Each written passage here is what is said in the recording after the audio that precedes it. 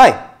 In this video, I'll show you how to take a busy looking chart like this into an interactive PowerPoint chart like this. It is the same information. Let us say I want to know the information of March. So I can click on this and you can see that I have March information. I can go to Jan, go to April, go to Feb, and at any point of time I want to see an overall view of the four months, then I can go to this button here and that gives me the total view. It's a very simple thing to do, so I want you to pay close attention to the steps of this tutorial. But before that, I'm Ramgopal from presentationprocess.com, the creator of comprehensive all-in-one PowerPoint bundle, which is a collection of more than 4,500 premium PowerPoint templates that help you make your presentations beautiful and engaging. Let me start with this slide here. This is a typical sales report. You can see that there are performances of six different people across four different months presented in one single chart. Naturally, the information is too cluttered and it can overwhelm the audience. So I decided to separate the information for each month and make it available for consumption on a click. So let me show you what I did for that. The first step was to duplicate the slide. I right clicked on the chart, went to edit data and that opened up the workbook like this. Let me expand this so you can clearly see what I've got here. The entire table of data is selected here and naturally that is the reason why we have these many elements here. I decided to reduce the selection to just one month so I clicked on this and I moved my selection here so I only had the information for Jan. Perfect. Let me close this I then did a little bit of cleaning up of this one. So let me delete this. We don't really require that information. Then I don't really require the information for this one either. Then I saw the color of the month of Jan and it was blue and therefore I decided to retain the color as blue.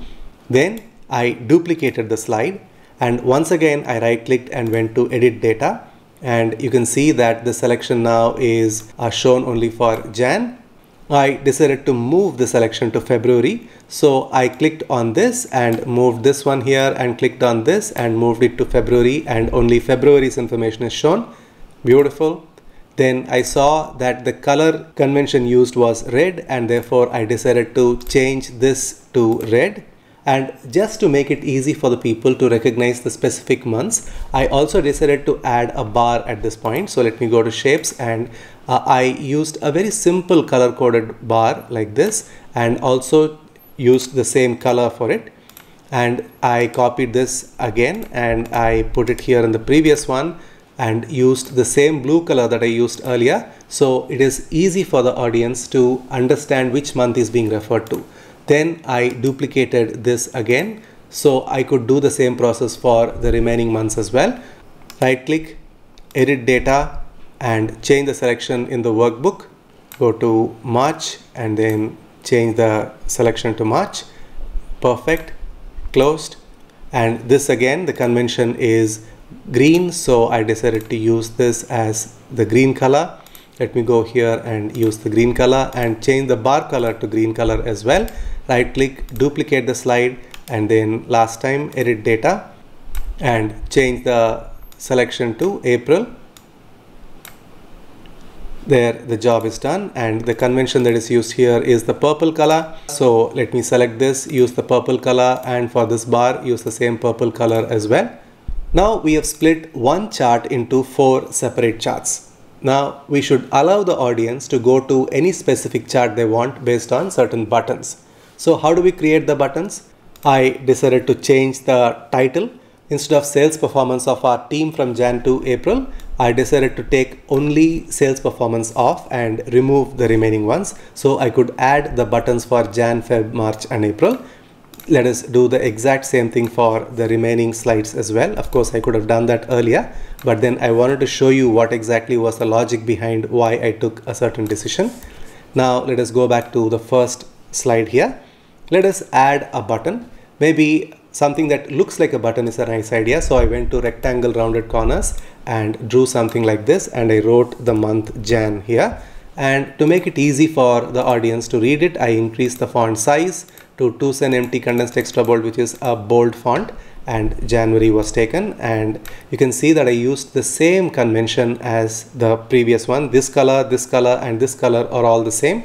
Then let us go to shape effects, go to preset and use something nice that looks like a button. So I chose preset 3 so this looks like a beautiful button then I decided to make the three other buttons by copying the same thing. So we I kept the next one right next to the previous one changed it to February and used the same convention as the previous one which is red color. So let us go here and change the color to red and then control D and then control D and call this March.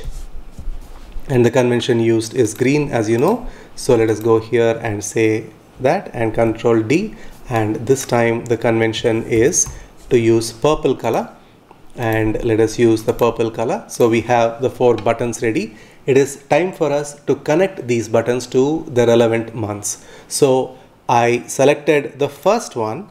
Pressed ctrl K which is the shortcut for hyperlink then I went to place in this document and you can see that I wanted to refer to this slide which is slide number 2 so I selected this and I said okay. Then the next one needs to refer to the next month. So control K which is the shortcut for hyperlink. So let us select this and say okay. And this one control K and connect it to the next one and say okay. This one control K connect it to the fifth one and say OK. So now these are all beautifully hyperlinked. Now I'm going to use a very simple transition for all these four slides. So the transition is very smooth. I used a simple fade animation and nothing more. Then I chose to copy this because all these are hyperlinks and we have control V here control V here and control V here. So for all the slides we have the same hyperlinked buttons so there is a lot of effort that is saved here. Then I thought if somebody wanted to see the performance of these people side by side then they would need to have an option for that. So I decided to create a new slide which is nothing but a blank template.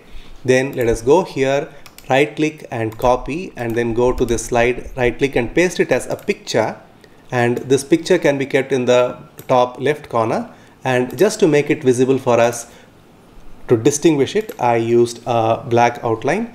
I then did the exact same thing for the remaining months as well went here and then pasted back as a picture and then used the same outline and then I kept it right next to it. And then right click here copy and then go back to this right click paste as picture and then put it in the bottom left corner shape outline and this one copy and then go here right click paste as picture. Shape outline is black and then let us place this over here. And this is the slide that needs to appear when anybody wants to click on some button in any of these slides. So I decided to use a small little round button. So I went to circle and then drew a small circle like this and gave it some distinct color. Maybe in this case I used a blue color. Went to shape effects preset and used a similar kind of a convention. So it looks like a button.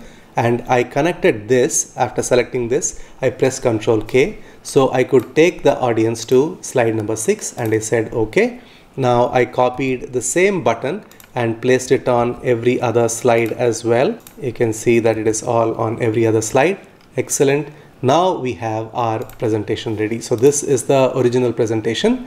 Then we have these slides and you can see that there is a nice transition which is a fade transition. So we have Jan. If I want to see March I click and it takes me to March performance. And if I want February April January. So it is a beautiful interactive chart where only the information relevant to a particular month is shown. So there is less overwhelm for the audience. If at any point of time the audience wants to see a comparison of all the months, then they can always click on any of these uh, blue dots and that will take them to this comparative performance. And if for some reason people want to see all the information combined into one chart and they want that view, then probably you will connect instead of this, you can connect them to this slide which gets pointed by way of this button which is in the corner. So it is completely up to you. What I showed you was just a simple idea of how to take a complex and cluttered looking chart, break it down into its individual components and have it as an interactive chart so it is easier for the audience to play with and understand the information. How you want to apply this idea to your individual charts is purely left to your imagination. Now talking about imaginative and creative PowerPoint charts, I would like to take you to some of the templates taken from our comprehensive all-in-one PowerPoint bundle. These are the templates. As you can see, the style is very beautiful and they are all data-driven charts. For example, if I want to take any of this information and edit this chart, all I need to do is to right click and go to edit data. And here you can see the number is 34. I can change that number to something else, maybe say 26 and hit enter. You can see that the information is changed and it is that easy to customize any of the charts that you see here. And we have such beautiful charts available in the templates like this. And the best part is we have recently introduced a darker version of all our templates. All 4500 of our templates in our comprehensive all-in-one PowerPoint bundle are available in our darker version as well. The darker versions look just as beautiful. For example, take a look at this one. It looks really stunning, isn't it? So we have taken a lot of effort to make this conversion. So if you are a customer of comprehensive all-in-one PowerPoint bundle already, then you can download all these templates in the darker version as well. So please take advantage of the option available. So you have more options to make your slides look impressive. For those of you who have not got comprehensive all-in-one PowerPoint bundle yet, I highly recommend that you make a purchase if you are a professional who needs to make presentations as part of your profession. The link is in the description box below the video. If you're looking for another tutorial on PowerPoint chart animation, then I will leave a link to that video right here. You can click on the link and watch that video next. We also have a five day free email training called as 25 creative PowerPoint ideas, where I share 25 practical PowerPoint ideas that you can use in your next business presentation. To join the course, all you need to do is to click on the link right here. So go ahead, click on the link, join the course, and I will see you inside.